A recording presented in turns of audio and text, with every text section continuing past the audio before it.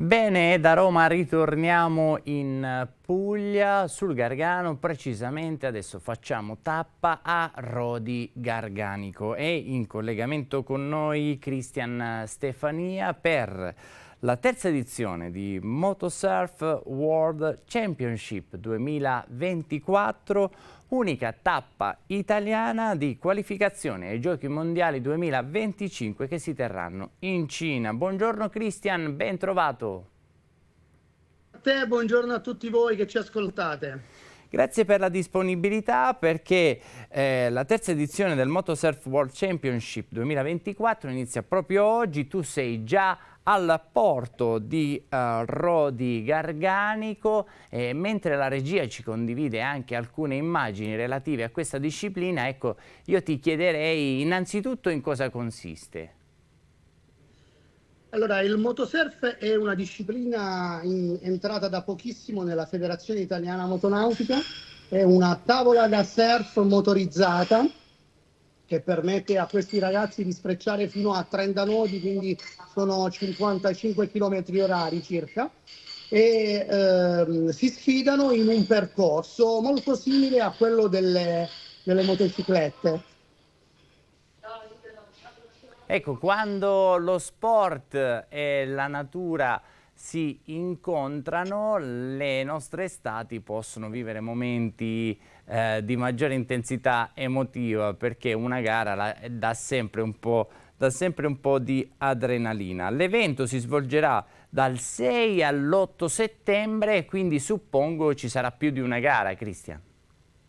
Sì, uh, questa mattina siamo già partiti, adesso iniziano le prove libere e nel pomeriggio invece avremo già le, gare per la qualificazione, quindi sono delle gare ad eliminazione. Nella giornata di domenica avremo le ultime hit e poi il podio. Eh, abbiamo la presenza di oltre 130 piloti provenienti da tutto il mondo.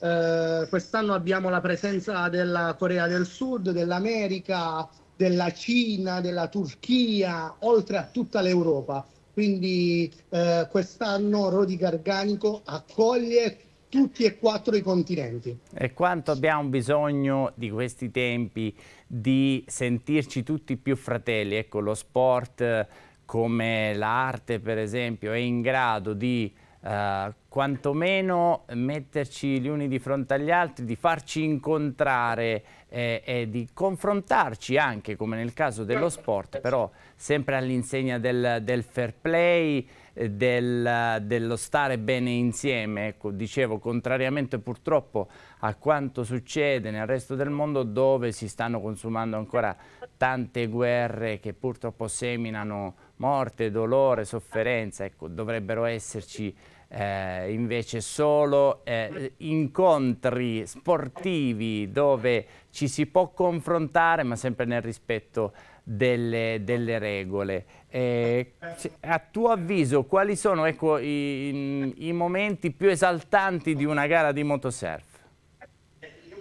Beh, come tutte le gare eh, di moto, di auto, i momenti più emozionanti sono la partenza, vedere questi ragazzi che sfrecciano verso il traguardo. Eh, ancora più spettacolari sono le curve che loro eh, fanno intorno a queste boe gommate, eh, riescono a piegarsi fino a mettere ginocchio e gomito in acqua, quindi come una vera MotoGP in acqua.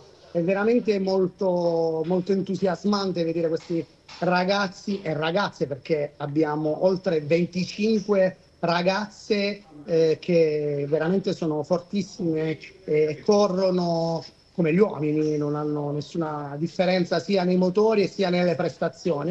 E poi abbiamo i ragazzini che partono dai 12 anni a salire, quindi abbiamo uomini e donne di tutte le età.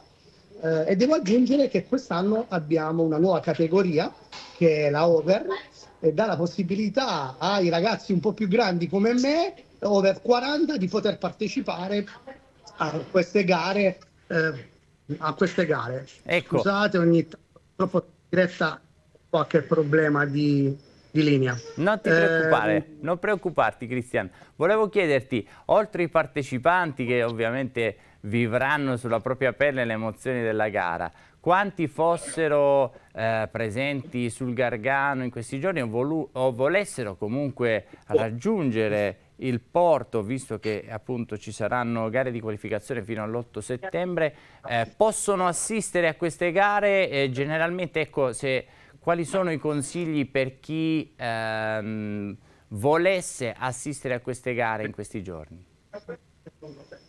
Allora, eh, noi abbiamo, iniziamo la mattina presto, già dalle ore 9, eh, faremo delle piccole pause, non, quindi ci sarà tutta la giornata dedicata alle gare.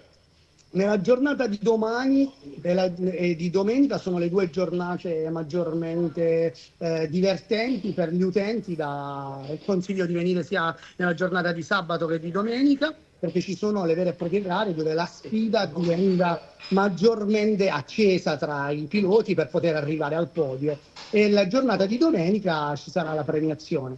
Di solito noi anche la sera facciamo un po' di show, ci sarà musica dal vivo, ci saranno degli stand per promuovere il nostro territorio, quindi noi abbiamo sempre un connubio eh, di sport e tradizione, cerchiamo di presentare a coloro che eh, vengono da tutto il mondo il nostro territorio, sia a livello enogastronomico sia portandoli in giro per eh, le nostre coste garganiche che sono bellissime. Infatti proprio in questo momento abbiamo l'imbarco delle grotte alle mie spalle dove stanno partendo i turisti per andare a vedere queste splendide grotte che si trovano tra Peschici e Vieste e non appena eh, l'imbarco sarà terminato, alle mie spalle partiranno i piloti.